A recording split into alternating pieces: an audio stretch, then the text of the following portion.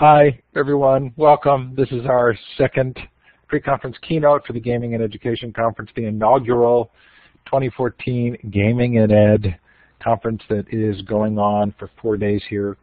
Uh, we're so excited to have Bron Stuckey with us tonight. Bron, we moved you from another time that was less convenient. I'm actually really glad that you're you're doing this in our time tonight. Uh, morning for you, right?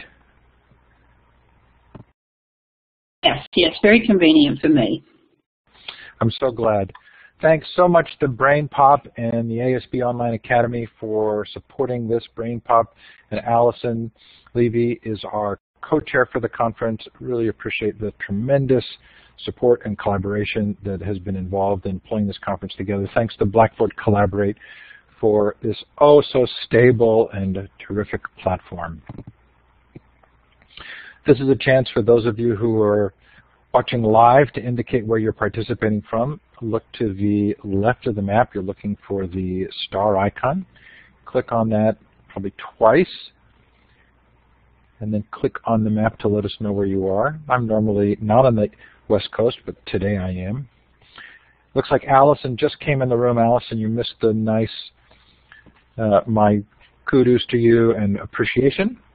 But thanks to Allison and BrainPop for all of that support again. Do shout out in the chat and let us know where you're participating from.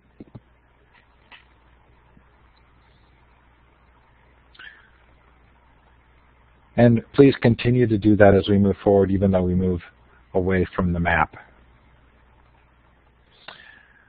Bron, it's yours. I'm here as your wingman. Let me know how I can help, and I'll watch the chat for questions if that's helpful to you.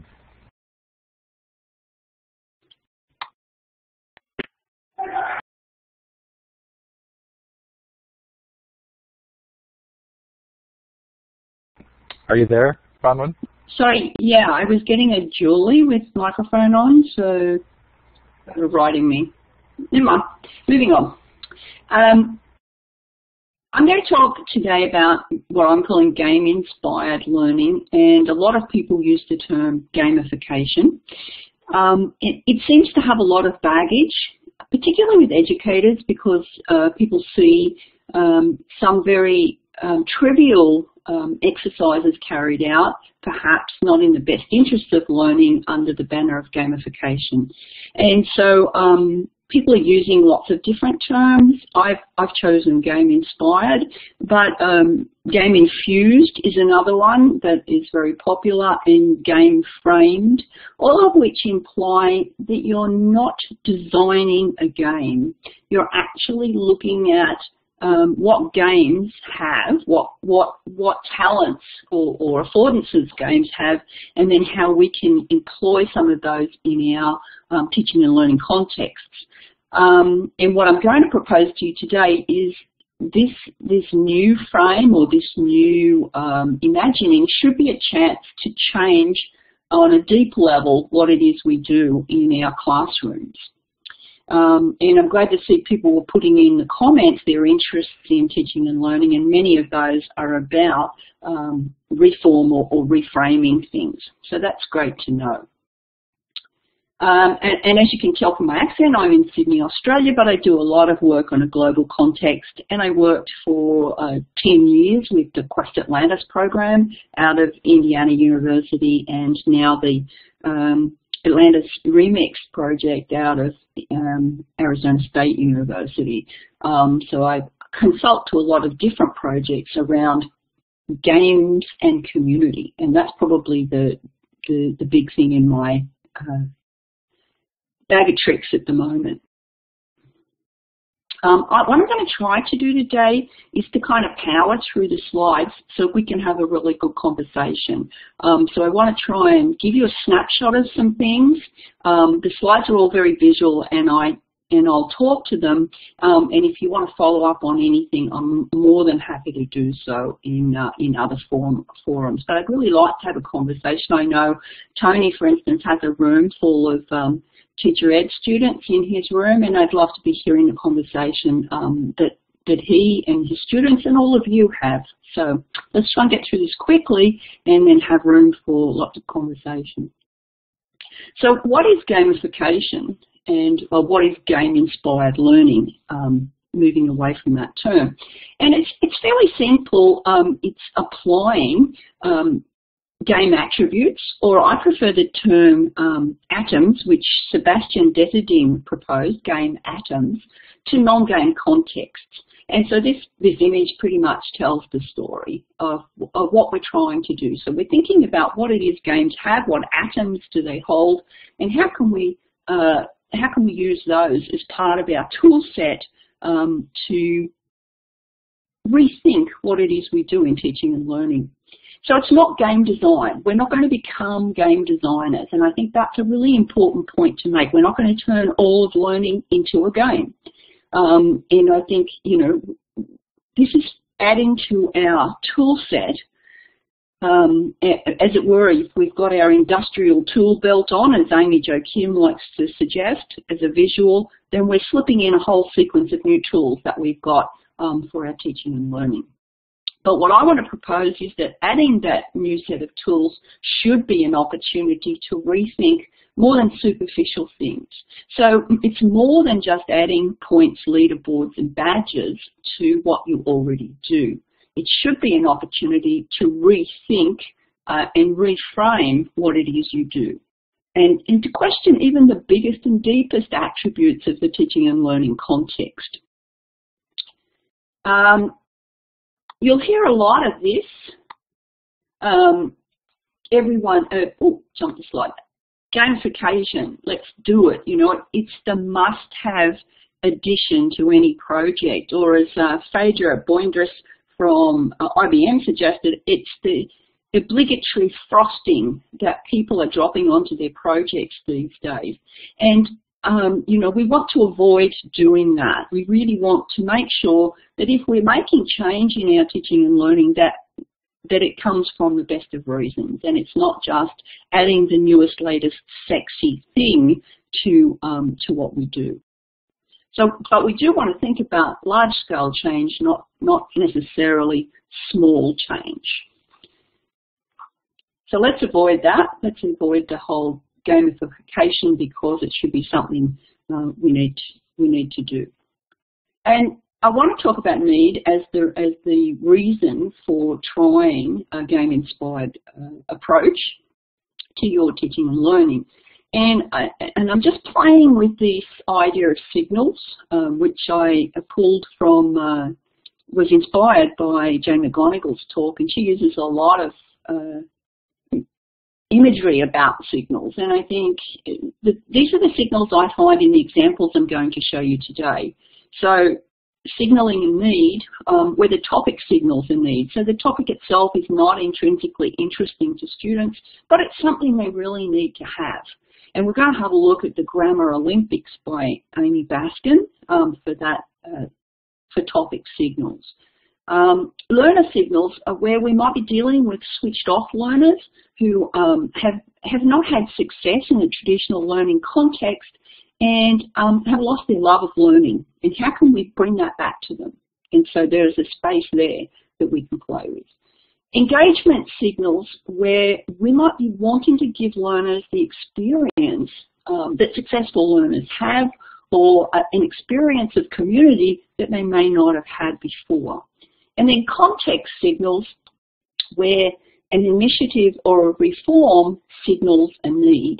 Um, and so we might be diving into some change in our curriculum, in our practice, in our technology, and that may signal a need for us to consider a new approach.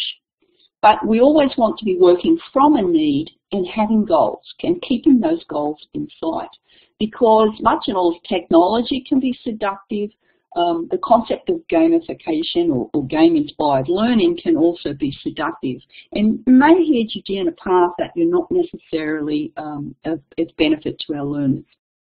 So a few things about a, a game-inspired approach.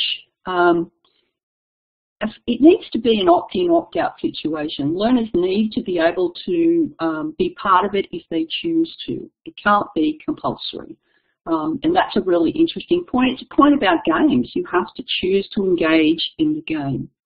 It needs to be fun, so it needs to offer uh, um, all the different kinds of fun and um, and I'm not going to go into those here, but hard fun is one of those that Seymour Papert um, termed, but there are many other social fun and other kinds of fun that, that people can engage in. It's not necessarily just about pleasurable experience because fun comes in a number of different packages.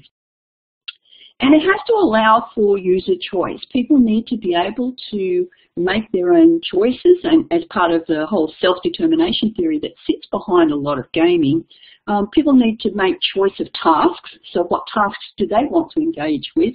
And then pathways through the learning. So to map their own trajectory through, through the learning space. And that's all of those you'll see in examples I'm going to give. Um, so I hope, uh, I hope that's uh, a basic platform for why we're thinking about um, game-inspired learning. So the first example I want to talk about is the Grammar Olympics. And the link there um, is to uh, a video where Amy Baskin at the Gamification Summit in 2013 explained um, why she brought this uh, Olympics into the college where she works in, um, in Florida State College at Jacksonville. And grammar is really important to these students in terms of their capability to graduate um, from their courses. And yet, we all know grammar is not the most interesting of topics necessarily that they might be engaging in.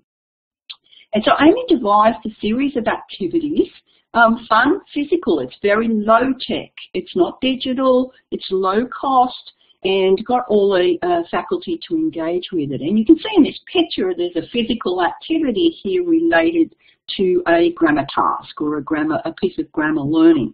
And um, students had a game card and they were able to um, engage in various tasks um, using their knowledge of grammar and, and, reinforcing their knowledge of grammar and collect um, stickers as they went along and the end game of it was completing their game card would allow them to earn a gold medal because it's the Olympics. Now, you might think, okay, these are college students and they engaged in this sort of physical, fun little game. And if you watch the video, you'll see many of the students giving a response to how much fun it was and the pride in which they felt, even in just earning their little gold medal and just getting to recognize um, they already knew quite a lot of the grammar, but there was more to learn. And I think that's a really great concept. Uh, it wasn't going to teach them all the grammar they were going to need, but it was giving them, and, and Peggy used the word, and it's one of my favourites, a disposition towards this topic that was a little more positive than what, what they might have um, had originally. And so you can see here Amy describing um, how, why she felt this was effective. Um, and I would recommend you go look at that video. It's only like 15 minutes, but if you wanted to look at a very fun um, and engaging way to get even some pretty hardened students to think grammar was cool, um, then it's really worthwhile. I'm going to jump through that quickly. I don't want to, uh, I want to give you all the examples. Now the second example, uh, the Velvet Throne, is a program devised by a teacher here in Australia, Natalie Denmeade. And Natalie works in the gamification area as well. Um, and I, I, will have contacts for all of the people whose projects I'm showing you at the end. So I do have a way for you to get in contact with all of them to follow up. Um, now, Natalie has um, a great topic because she's working in digital media and that's the subject that she's teaching. But she's working with students in, in what's called TAFE in Australia, which is um, perhaps um, community college, but it's really um, further education in the trades. Um, and she's in a country town in the town of Taree, and you can see here um, this is some of the graphics. These are all the graphics you can see here devised by her students. So she had a curriculum for studying digital media, but she had students who had not, not, not been turned on by traditional learning. So in many cases they were, um, they're beyond the compulsory years of schooling, so they've chosen to do this subject, but they're really not excited about learning. They haven't been switched on. Um, And so she took a different approach to a topic that was already quite um, appealing to them because they'd signed up for the subject, but to give them a way into the learning um, that would really get them to engage, to be sociable, and um, to really get to know each other and each other's strengths. And so she took a Game of Thrones approach to um, to the topic, and the students formed uh, houses, and you can see there they're all wanting to rule over Tar Terresteros, and um, that's the town, Taree, and they had guilds, and the guilds related to the content that they were going to be studying, so movie making, photography, game design, 2D, 3D animation, and so on.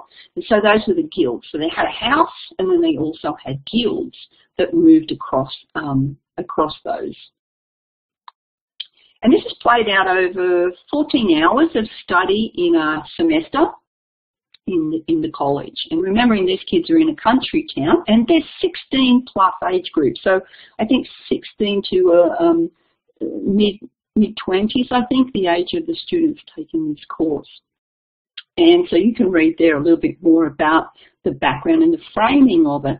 Um, and each week there was a, a winning house, um, and the guilds uh, learnt skills and then taught each other. So there was a lot of um, becoming the expert and then helping others to learn that topic. Um, very, very positively framed. Um, and uh, each, as I said, each week there was a, a learning, uh, a winning house. And that was framed such that um, each house had a turn at being the winner in, in a way, and achievements were set um, for that week. And there were points and, and associated other attributes. Now, the exciting thing about this is Natalie's actually attained a grant to um, take some of the winning students to New Zealand to go to where they filmed um, the the Hobbit and some of the other activities that are there. So this is a really exciting um, thing that's come out of that, but it wasn't actually part of it when she started out. It was actually trying to switch learners who've been browned off by the education system onto, onto learning. And this has proven to be very successful. So this is really beautiful, a lot of work, but it was developing on the fly. She didn't have it all mapped out how it was going to work. She just knew this might be a great way to go. And in fact, Natalie herself had never ever watched Game of Thrones. She was forced to do it by the students who said she couldn't come in, she couldn't be part of it if she didn't watch some of it. So, um, but it was pretty easy to see. She's picked up game game elements there, the whole notion of guilds um, and points and achievements are part of uh, that program. If you want to know more about that, you'll be able to follow up with Natalie. I'll give you her details. So that's the Velvet Throne. Now Just Press Play is out of the Rochester Institute of Technology School of Interactive Games and Media. And this is a really interesting program because the need here was um, to give students the experience that highly successful students have.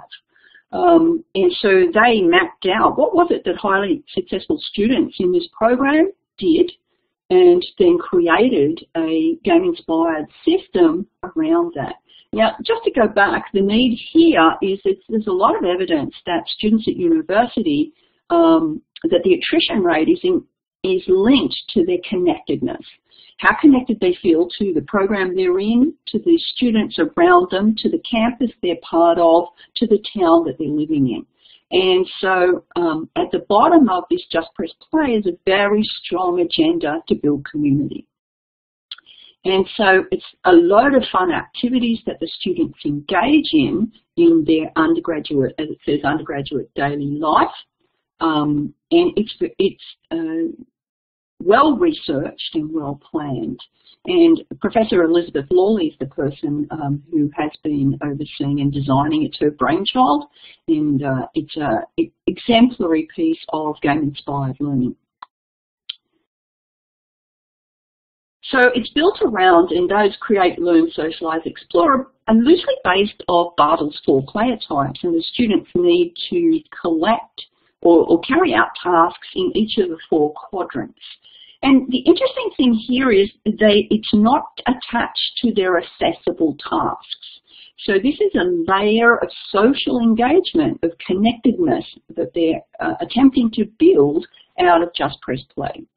And the students have a personalised QR code and when they attend activities and events, um, that, that's scanned and they're automatically then recorded. Um, each of the staff members has a QR code reader on their phone and that is automatically recorded on the system. And what sort of things do students do? Well, they might be um, asked to recreate an image from a famous picture or famous photograph.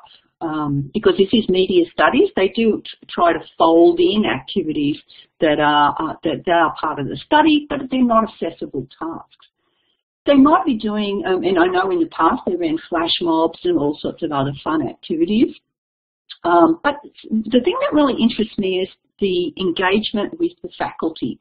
So things like going to office hours um, of a, the consultation hours of your professor um, is a really important thing. And we know that successful students aren't too shy to go to the professor and ask for help. Um, having taught um, in the university sector myself, I know some of my most successful students were those ones who would come along and want to talk about it as something they were grappling with. Um, and so getting students to go along and do that, visit the, visit the professor, make that professor a human being that they are uh, they see as approachable.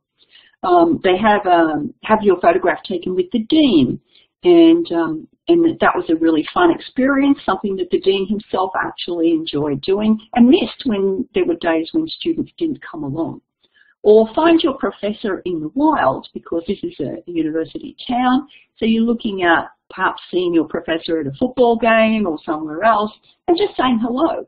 Uh, you're not stalking the professor, but it's just, again, adding that layer of um, personal to the context of the, of the campus. It's getting to know the campus itself and being able to understand the workings of the library and the media areas.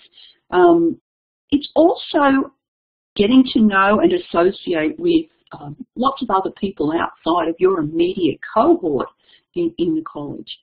And what it does become in the end for the students is a map of the memories of their years in the program. So this uh, Just Press Play is designed to be across the whole of their undergraduate period. Um, and so the things that they've recorded, there'll be photos, videos, audio, YouTube, any kind of media. This will be a map of the fun things they've done and associated with over the course of their studies. And that's a really beautiful thing.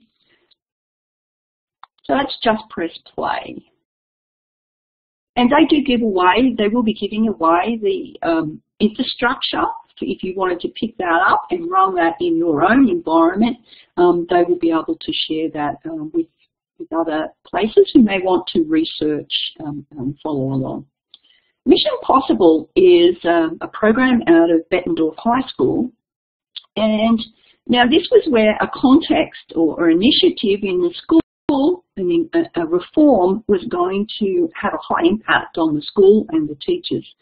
And so this was, the school was going one-to-one -one iPad. And so it was, um, and this program has run now for, it's quite mature, it's run for over three years. It was the brainchild of the science teacher in the school, um, Chris Like, and um, he went to the head and said, I have this great idea that we could run some game-inspired professional learning for the teachers that will help them be, be more capable in using their iPads. And so he devised a, a 10-level system uh, of missions. So it's, it's challenge-based or mission-based. And the teachers engage um, at level two you've gained your iPad. So you get your school offered iPad at level two. And then beyond that you go through a sequence of ever increasingly more complex missions.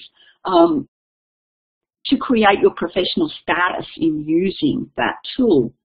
So for instance at level four there there may be 40 or 50 missions and you only have to do um, a certain number of those to gain your points. So you have lots of choices of what you can engage in.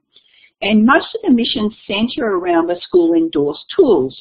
So if it's uh, Twitter, Edmodo, um, social tools for the teachers, um, and different tools they're using in the school after level four, you, you actually, part of your missions is to create new missions in the system. So it employs a really well thought out system of participatory design.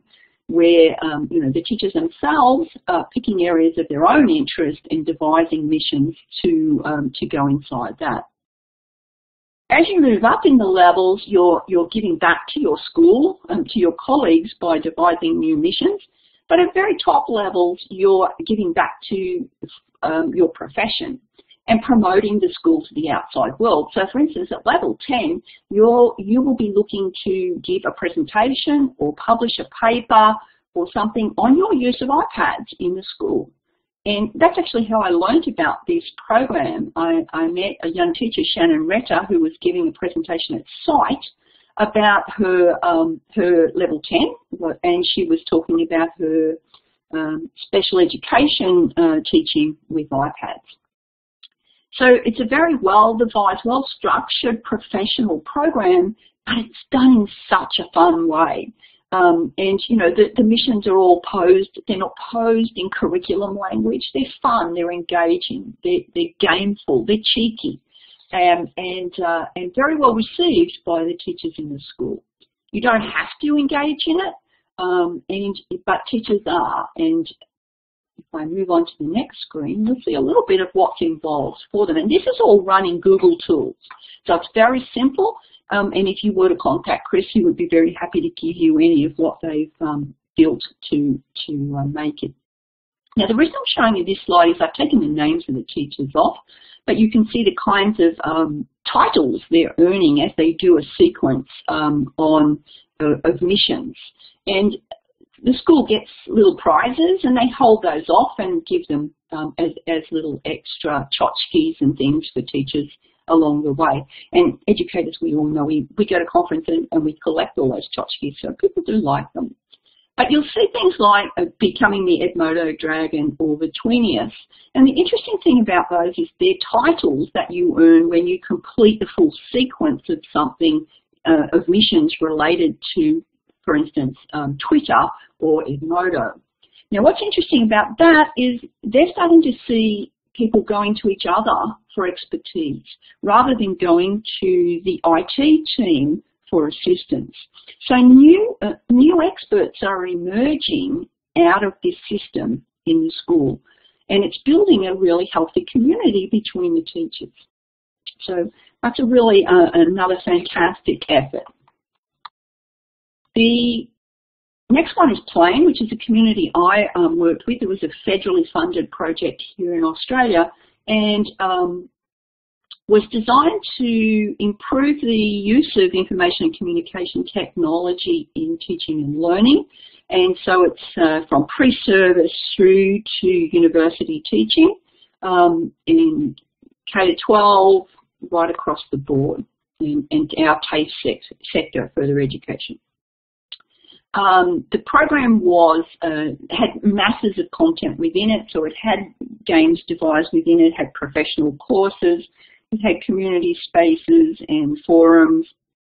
So it's a very huge space. It was a, a, a big project under our digital education revolution um, of the previous government, and that's important in a minute, and I'll tell you why. Um, but we decided that because community is really important here, and we know, those of you, and I look down this list, I know how connected all of the people attending this session are. That, that connectedness is really important to our professional learning. And we wanted to give teachers that experience in this community. And having worked in communities of practice for the last 15 years, I know that in a lot of cases, um, we're pretty pragmatic as teachers. We want to come in, grab what we need, leave, and we might look around at the community later. Well, and sometimes later never happens. Um, so what we so what we devised was a program that would um, onboard the teachers into the community and give them a taste of what goodness was in here, what benefits they would have for their professional learning by being an active member of the community. And so the game program in here, the, the game-inspired process is a 10, 10 levels. And uh, you start as a hero. It's loosely based on Joseph Campbell's The Hero's Journey.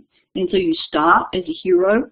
And we have a whole narrative behind that because and I firmly do believe teaching is a heroic journey. I was a, a practicing elementary teacher for, for many years. And um, we give teachers the experience of the community. What is it they're going to be able to do in here through that game-inspired mission? And at level five, if you're um, attaining to that, you get to be a ninja teacher. Now, who wouldn't want to be a ninja teacher? I mean, I would. I, I love ninjas. Well, samurai's better, but ninjas are really good. Um, and so this is the kind of interface you'll see inside um, the Plane community. Now, we did use the Badgeville um, software as a service, and and um, and that was an interesting exercise in itself, um, and certainly gave me a lot of opportunity to think through the value of the visual um, tracking and leaderboards and other things. And, and I won't have time to go into here, but leaderboards can be as good for uh, game-inspired learning as they can be bad, and they need to be thought very around very carefully. Uh, but you can see the kinds of badges and missions we had, the kind of way you tracked things. And, and, a lot of our teachers said, this is really fantastic. When I was so close to achieving that, that level or that badge, it just pushed me over the edge to finish that task and, and to get things going. But what we did in this, uh, the plan was for the higher levels, like that um, Bettendorf work, was to have participatory design so that our members would be designing uh, further missions, that teachers would be able to social gift badges to each other. So that top thought leader badge down there was one that I could have given someone I thought really inspired my thinking. And so I could I could gift that badge to a person to be part of their um, identity in the in the program. So lots of juicy things surrounding um, the activity in in this community. Um, and I, that's the one that I worked on, specifically worked on the design. The other cases I've given you are ones that I've case studied and, um, and admire immensely. If you want to, and the reason I've got this graphic up is Amy Jo Kim suggests that the player has a journey through any game. And it begins with onboarding, uh, develops into habit building, and moves you, that habit building moves you toward mastery. Now, what I'm seeing that I think is really interesting is that game-inspired, or, or game gamification if you like, seems to have a very high strength in onboarding, in getting people into your um, your way of thinking, your way of learning, the project you want, um, getting them to engage, um, to build a disposition. So, and, and I think it somewhat concerns me in the gamification arena that people are seeing that success in the onboarding stage and projecting that on to all the other levels. Now, um, I think we could loosely say uh, learning is is um, this same trajectory, onboarding, some habit building about learning, and then mastery of a topic. Um, so I think we want to. I just want to say that I think onboarding or that getting people on board is a really great place to look at starting a game-inspired program.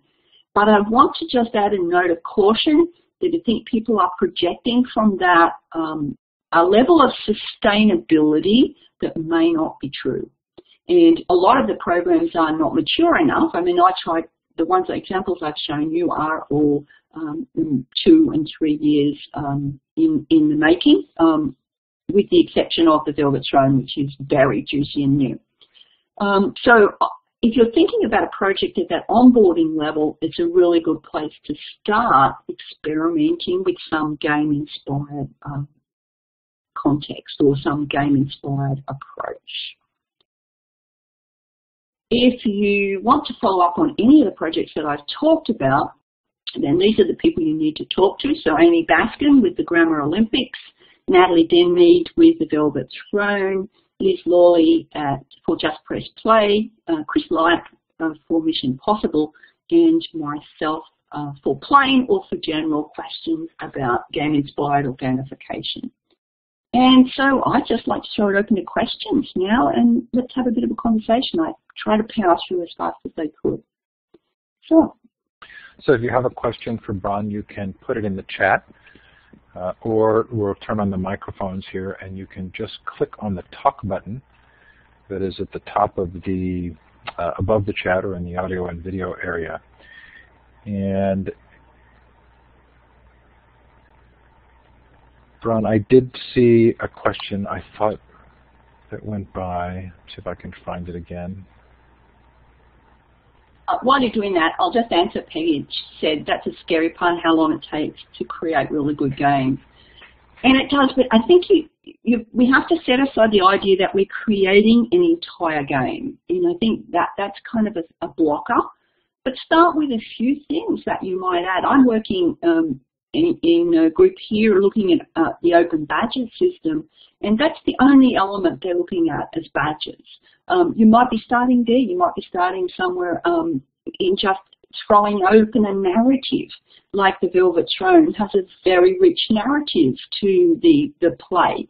Um, but it's still all the same content and, and the students have engaged. They created all the visual content that you saw, but it's Natalie who did the game thinking behind it.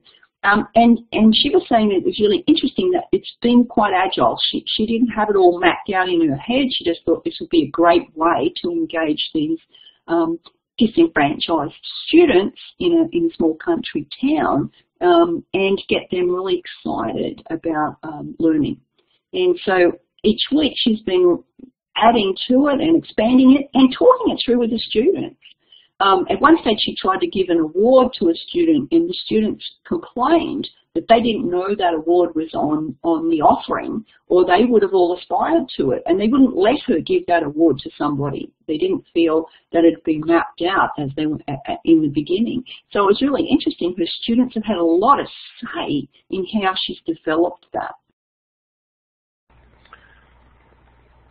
Are you seeing the questions in the chat or do you want me to feed them to you? I can see the question about the plane. Plane was a federally funded project. I designed the gamification, um, the game-inspired process inside it, and we used the Badgeville interface to actually collect and record points and um, and do all of that. And if you want to follow up on that, there, there is a video, a YouTube video with me explaining much more about the the um, the project. So if you just search uh, Bronwyn Stuckey, Bronwyn Stuckey and um, gamification on YouTube, you'll find it. Now, let me see. Do you have a one above that? Do you do find have, the, go, ahead. go ahead. Do you find the pre perceived negative feelings about gamification will shift with time as people understand it better? Well, there's a, a whole bunch of things there. I think um, the reason I focus on professional learning because that's the space I work in but I think if teachers had a taste, and I see this from the playing community, when teachers had a taste of what a game-inspired approach might be, you could see them starting to think, wow, well, I could be doing this in my classroom. You know, I could, I could try this in my classroom. Um, so actually having that experience, more than knowing about it uh, and theorizing about it, I think if we actually start focusing in more on our professional learning experiences and where a need is signaled, being able to apply some of those, those game atoms to our professional learning. And heavens knows we could really do some improvement on, um, on professional learning. Um, I, I, noticed there was a post on Facebook from some uh, from a colleague of mine in America who said um, if I die, please let it be at a professional, at, at a teacher training, professional learning experience, and the segue between life and death will not be as, as grand. Um, you know, it's kind of, um, that's how a lot of people feel about professional learning. We're like those 16-year-olds in the country town that a lot of our professional learning is, is not inspiring and engaging and doesn't give us great feedback and doesn't um, give us a personal ownership of the trajectory that we're going to take through the learning. We're all sitting through some lockstep process. And that's all of what we tell, we tell teachers isn't appropriate for kids. Um, so we need to experience that for ourselves. Okay, the, a couple of questions have come in. Uh, Leon asks, any examples you know of where students build the actual games a la Scratch, but a bit more polished? Well. Um, I actually don't work in, very much in the student arena, but I know that if you tune in to Knowclue's, um, No Clues keynote tomorrow, that you will get a really good handle on student design of the games. Um, as I said with the example with the Velvet Throne, the students had a lot of say in how that was developing. Um, in Plane, we were working towards participatory design. Um, I don't see that there's any reason that students couldn't do that. And I know Yvonne Harrison, who's here today, also, um, like Knowclue, working in Minecraft, has had students design the game that um, the rest of their classmates would play. Um, so I think there's no reason it can't happen. And in fact, students will probably take less time to get on board with the concept than us as teachers. But we do have to play some spaces to get an idea what game atoms are. And, you know, it really annoys me when people hone in on points badges and leaderboards. I mean, what are they worth? What are those points worth? What do you do with them? If the actual learning they're engaging in isn't meaningful, points won't sustain any kind of activity. So, you know, you've got to come back to doing good teaching and learning, but how can um, those game atoms help us do that better? I thought but yes, I'll, I'll, go ahead. I was just giving a big plug for Knowclue, who I think will much more adequately answer that question than myself.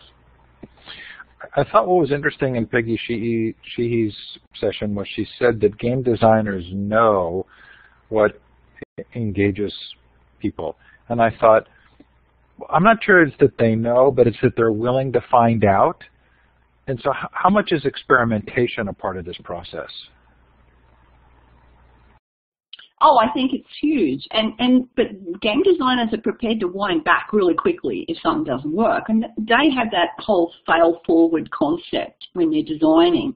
You know, they, they're constantly designing testing, doing user testing, you know, designing testing. Um, they know who their players are and they know what's going to work with them. But they also know to ditch something if it doesn't work.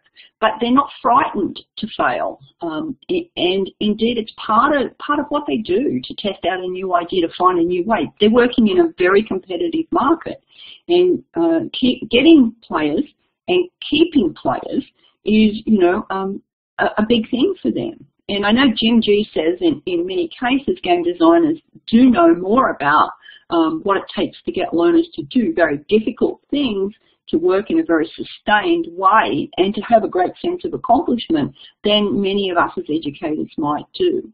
Um, the interesting thing is, I don't, games are not new. Um, teachers, uh, teachers, good teachers, professional teachers have used games in their teaching for a long while.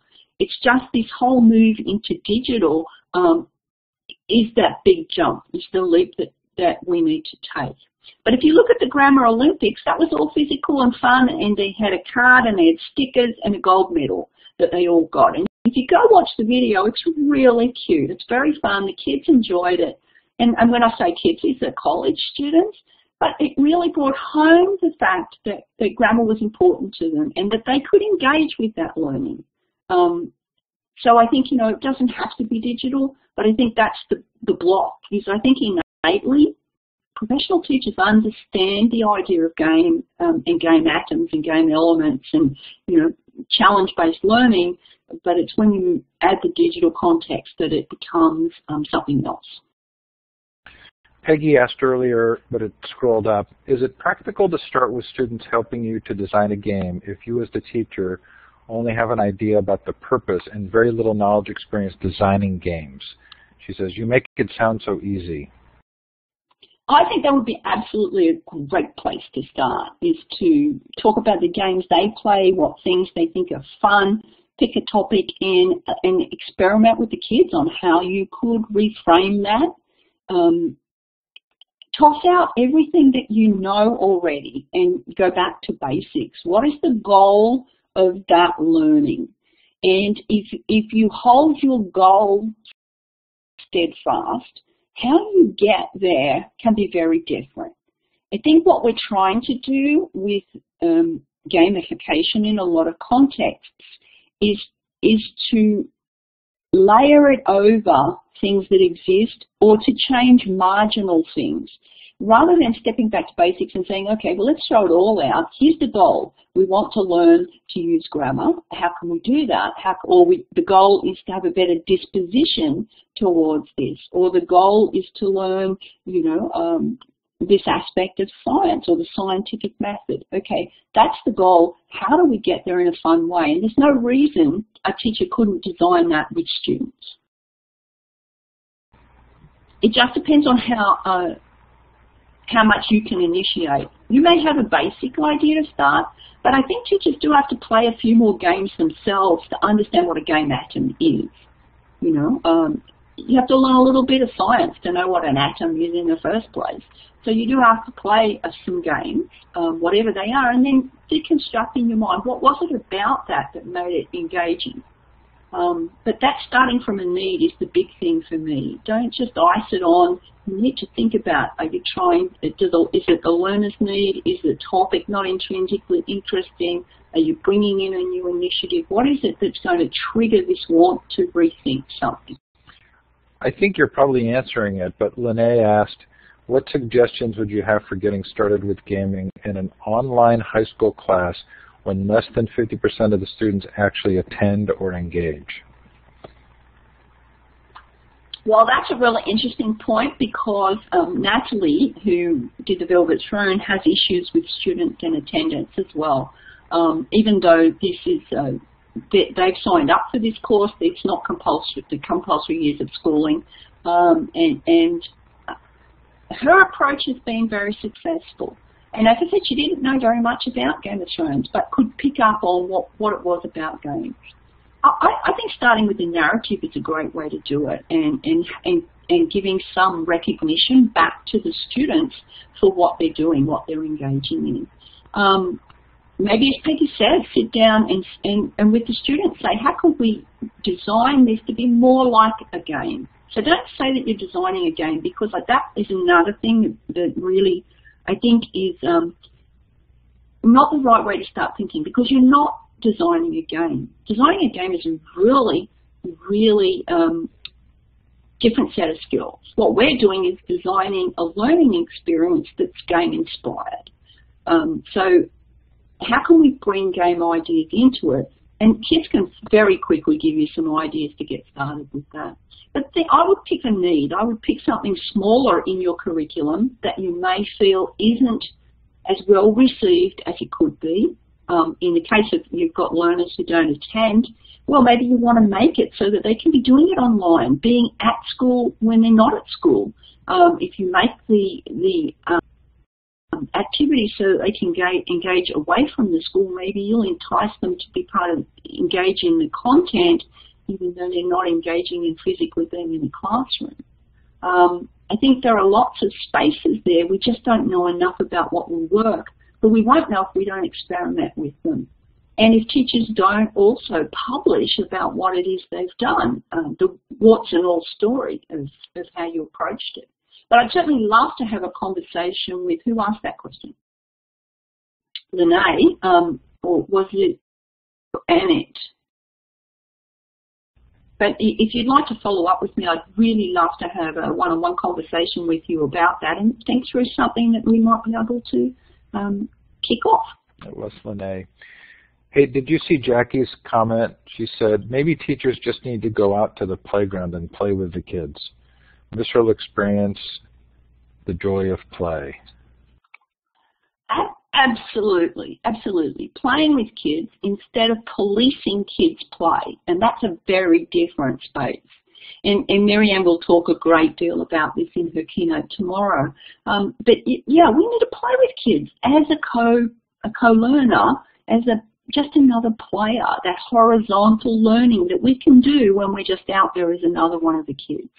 Um, and and yeah, it doesn't have to be digital play understanding play and the sheer pleasure of it um, is a great way to go. We we had um, an event here in Sydney called Teachers in Front, which I'm engaging in with colleague Dean Groom, and as part of the day, we got everyone to do Just Dance on the Wii, um, and and we got you know some of these tough guys who don't I don't dance um, to get up and, and kind of pressured them in. Okay, we went against them, don't make it mandatory. Um, but we got them up to dance just a, a leveler to laugh together, to release endorphins, to actually just move away from the thinking space into a physical fun space for a little while. And it was a really, uh, uh, there was a lovely energy after we'd all been through that. So, um, and it was a shared experience where we all laughed together. Um, and I think teachers could do more of that with their students. The problem is what I see, um, and the same for parents. Parents could do more of that with their children. Interestingly, parents will play Monopoly with their kids in Twister and um, and other games, um, Uno or, or whatever, but then they don't sit down and play the digital games with their kids. Um, they seem to find them more as babysitting, um, and the child's quietly playing something on the iPad instead of sitting down and engaging in the play. And I think that's important but not as police. Too many times I see parents and teachers say they're playing with their kids, but what they're really doing is policing the kids' action rather than actually play like a 10-year-old, be like a 10-year-old, play with your, with your children.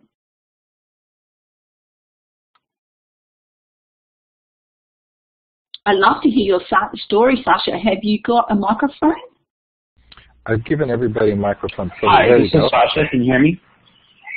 Yes. Hello?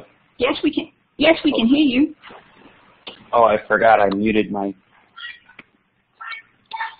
speakers. One second.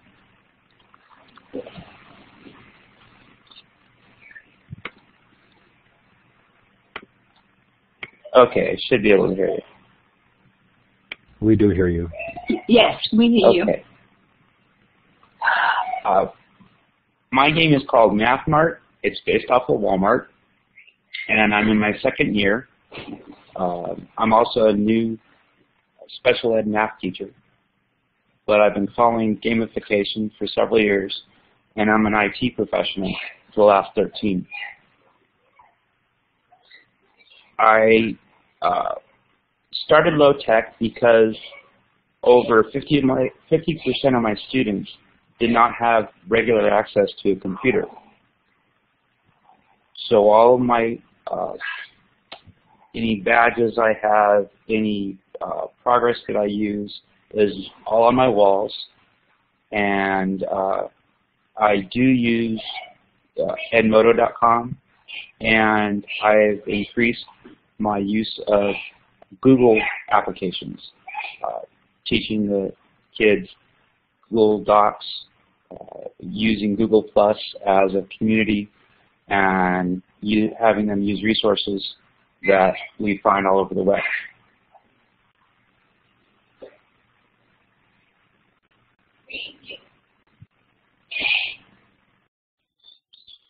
That's great, Sasha. And I see someone is it, people have asked, is there a link to your an explanation of your game?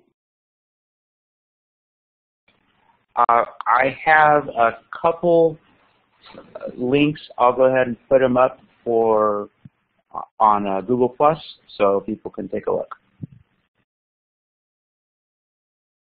Brilliant. And if anyone else has a, a game-inspired approach that they're using and they'd like to let us know, that would be fantastic. I'd, I'd love you to take the mic.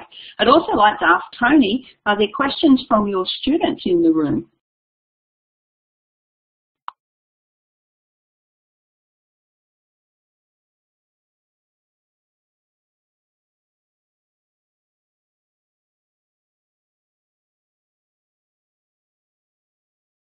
I note that Jackie mentions outdoor cooperative games.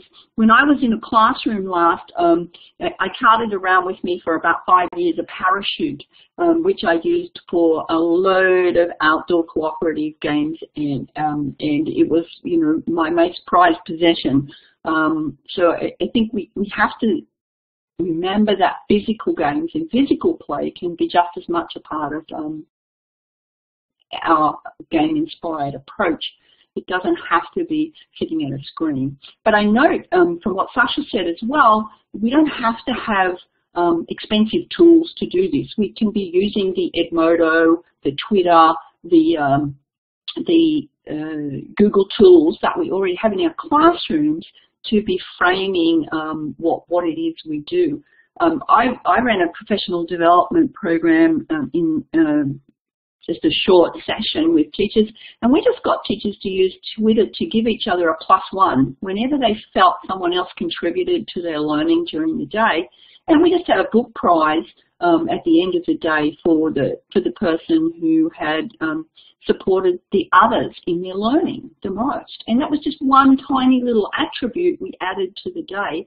Um, and Twitter was important because people could just throw that in when they thought about it during the day.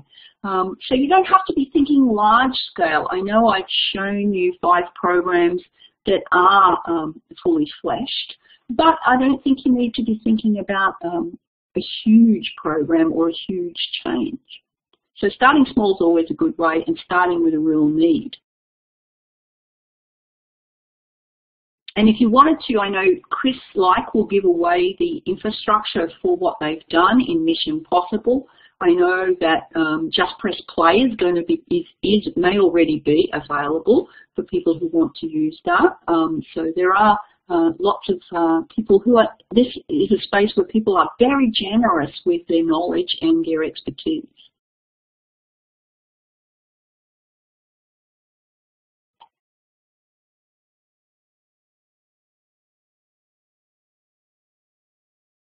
Any platform they can start with. I do know a lot of people building game-inspired spaces in Edmodo. Um, a, a, friend of mine who teaches English, who did um, a Game of Thrones approach, uh, no, not Game of Thrones, a um, Hunger Games approach to uh, a part of her curriculum, and she used Edmodo for that. And if anyone would be interested in that, I can certainly pass that on. That's Bianca Hewes, H-E-W um, put her name in here. She's in, in Australia here in Sydney, teaches high school English. Um, and uh, but she and she and a number of other people we've had conversations about how adaptable Edmodo is for building a, um, a challenge-based uh, or mission-based learning system.